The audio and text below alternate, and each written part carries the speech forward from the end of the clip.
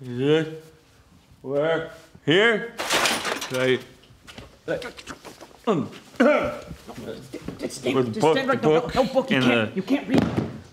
right. so we're rolling. Roll. Uh, you've been in a car accident. It's ugly. Yeah. You've been wrongfully terminated. It's ugly. You got digit spells and a low sperm count because of radium isotope R834 and drinking water. Ugly. Hi, I'm Bob Dihuggly of Goode Tibbad and Dihuggly, and we're here to help. Whether you slapped an elderly person or committed a wrongful act of treason, we want to make sure you get your day in court. Need justice? Bob Dihuggly. It's gonna be okay.